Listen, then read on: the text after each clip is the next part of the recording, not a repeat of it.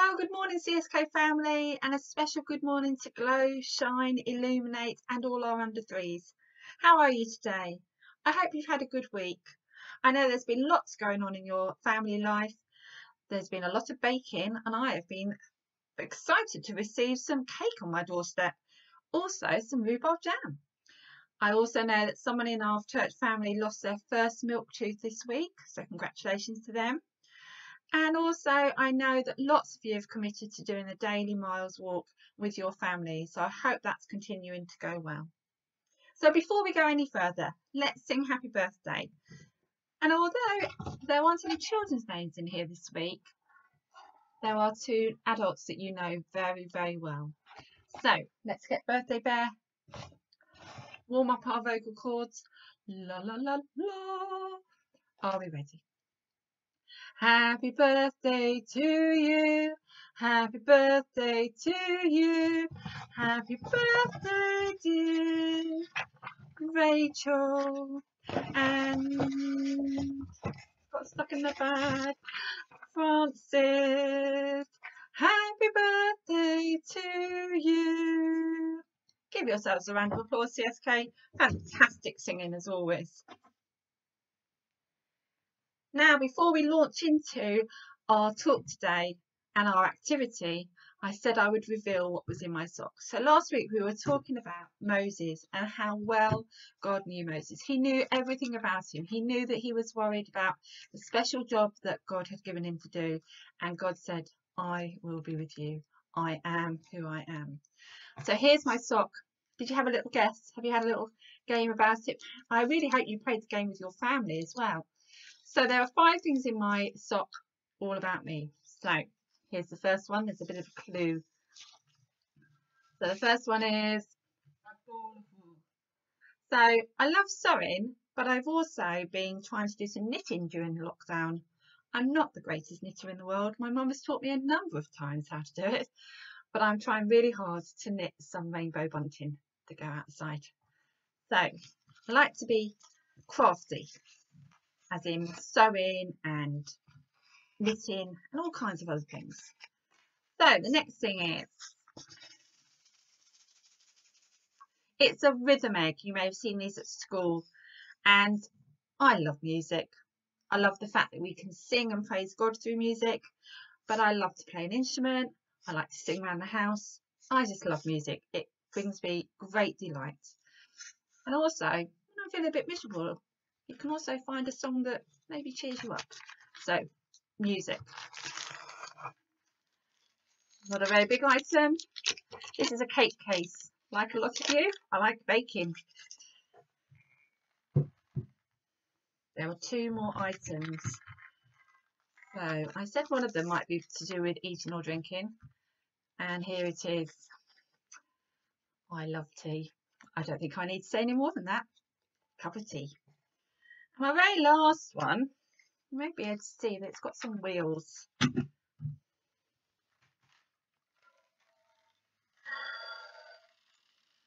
This is what I'd love to have. I don't have a Volkswagen camper van, but it's good to dream, isn't it? So many years ago, some friends bought me this, knowing that I didn't have the real thing. But it always makes me smile when I see one of these on the road. And it just makes me think of people being on holiday and travelling and enjoying the beautiful country that we have.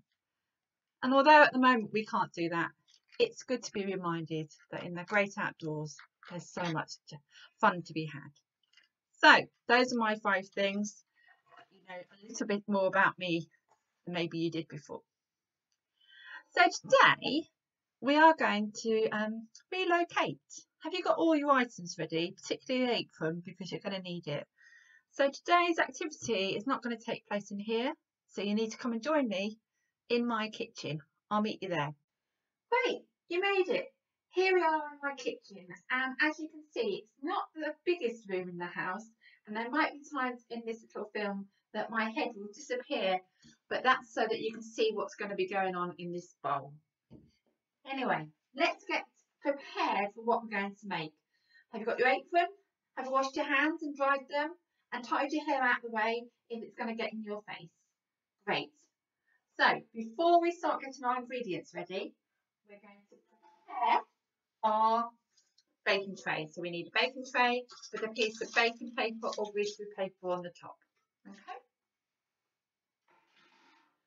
You also need to make sure that you've put a cooling rack out ready for when your item comes out of the oven. And talking of the oven, make sure that you've turned it on to 220 degrees Celsius. So it's warmed up, ready for when you need to put the item in the oven. So 220 degrees. Get an adult to, to do that for you. So you will need a big mixing bowl and the first thing we're going to put in there is some flour because we're going to make some bread. Now you might be thinking, Joy, when I've made bread before, I've always used some yeast. Well, that's the same for me. But at the moment, it's quite tricky to get any yeast. So we're going to make a bread that doesn't use yeast. So let's get started. First of all, we're going to use 250 grams of plain flour and I'm going to sieve it into my bowl. Don't worry if you haven't got a sieve. But this will help to get rid of any lumps there might be. You can see I'm sieving it into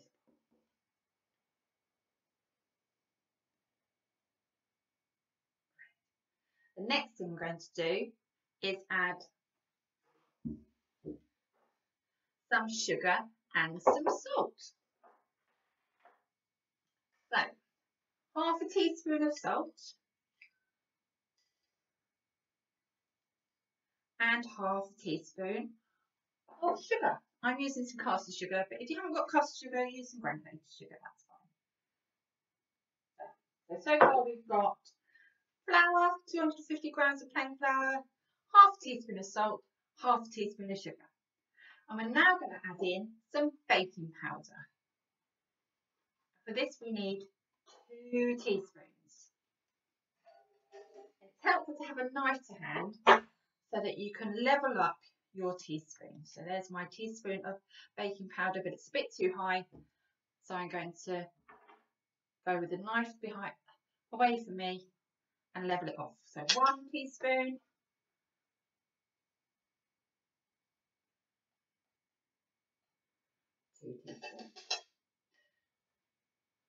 Those are all our dry ingredients. So we want to mix those together. You might use a whisk to do that or a fork. But I'm going to use my knife again. I'm just going to put that into my bowl mix all my dry ingredients together before I add my water. There we go. Before I do add my water, I'm going to make sure I've got my here's my board and I've put some flour on it ready.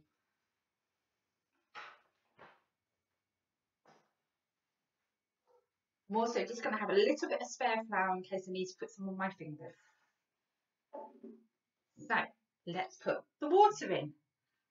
I've got 175 millilitres of lukewarm water, but I'm not going to throw it all in at once.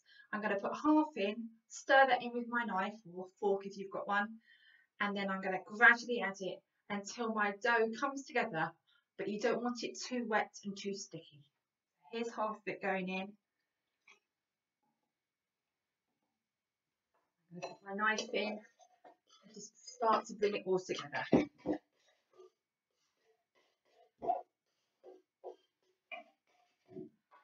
a little bit more.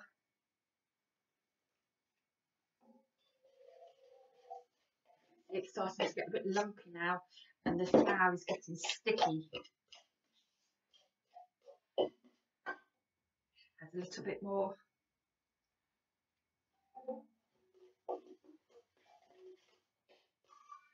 I'm now going to put my hand in to bring it all together into one big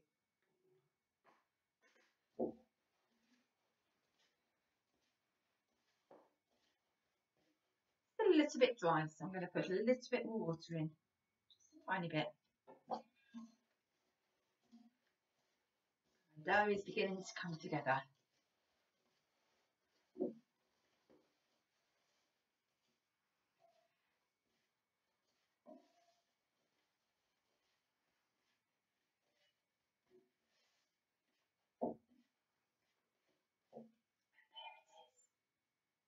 There we are. So that's how your dough will look. Get rid of the bowl and put it on your floured board. Before we put it in the oven, we want to knead it, but we don't want to be too heavy-handed. It's not like Play-Doh. We don't want to be too heavy-handed. So make it into a ball, and then you're going to push it away from you and then pull it back. So it's like you're folding over the flap of an envelope. So push away, bring it back towards you. Push away, bring it back towards you. And keep turning your circle of dough round as you go.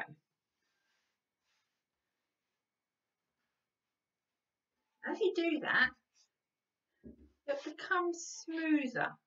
But as I said, don't be too heavy-handed. But you'll see your dough coming together even more and this bit becomes smoother. Do that for a few minutes. You're making it as a family, you might split it into some bread rolls now and knead one of them each.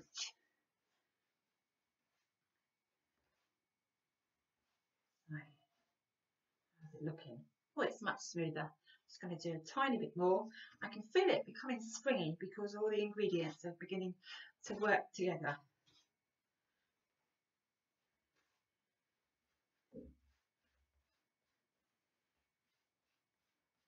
There it is, nice and smooth on the top and I've made it into a circle.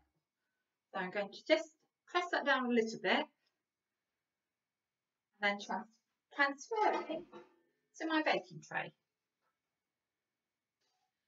The last thing I'm going to do before I put it in the oven is I'm going to, you'll need to ask an adult to help you with this because you need to use a sharp knife to score it. So ask an adult to do this for you. And scoring means you're going to make three cuts, but not all the way through. So one, two, three. Like that. So one last push down, my three slits that I've made, and then it's going to go in the oven. It's going to go in there for 25 minutes altogether. First 15 minutes at 220 degrees. So your adult has put it in the, in the oven for you. So you can do the washing up in the first 15 minutes and then ask your adult to turn it down to 180 degrees Celsius for the last 10 minutes. And then after those 10 minutes, ask your adult to get your loaf out and put it on the cooling rack. And then you can let it cool down before you eat it and share it with your family. So I'm going to do my washing up and then I'll meet you back in our normal room. Well, I've washed my hands and I've got the flour off the laptop. So here we are again back in our usual room. So how's your bread looking? I hope it's come out okay and I hope you had fun making it. Mine's just cooling down over here. But before we get to that, let's look at today's reading and today's Jesus I am saying. So Jesus said, I am the bread of life. And we find that in John's Gospel. So we know there are four Gospels in the New Testament Matthew, Mark, Luke, and John. And we find this in chapter 6. So if you've got your Bible, go and look it up. So Psalms is in, about in the middle. New Testament starts about two thirds down. And we're looking at the fourth Gospel. So John chapter 6, and I'm just going to read one verse, verse 35. I am the bread of life, Jesus told them. He who comes to me will never be hungry. He who believes in me will never be thirsty. So what does that mean? What does that mean for us? Is he saying that we don't have to eat or drink ever again? No, he's not saying that. Of course we need to be well fed and we need to keep healthy. That's important in everyone's life to be looked after and nourished and ready to do what Jesus is calling us to do. What he's saying is that by knowing me, you know God. Now, if I show you my bread, here it is. What do you think the first thing I wanted to do when it came out of the oven? You're right. I didn't want to let it cool down. I wanted to break a bit off and find some lovely butter and just have a piece straight away. Wouldn't it be amazing if we were as excited about knowing Jesus and spending time with him as I was about wanting to eat my bread straight away. Instead of hearing about the bread or thinking about it, I actually wanted to do something about it. Instead of hearing about Jesus or reading about Jesus, we actually want to know him because he wants to know us. And we see that throughout the whole of the New Testament that Jesus wants to know us. So, as you share your bread with your family today, think about what Jesus said. I am the bread of life. He who comes to me will never be hungry. He who believes in me will never be thirsty. And that's true for you and for me. Now, I said there was going to be a, a different face on our film today, and we're going to end with that person. So, Heather's come today. She's filmed a little film of the blessing that she signs for us when we sing in the church. May the God of hope.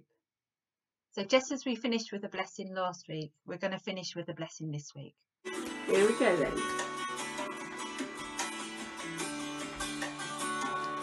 May the God of hope fill you with all joy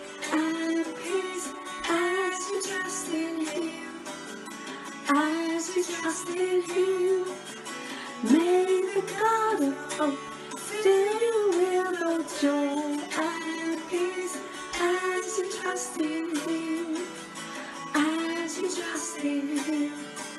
So that you might overflow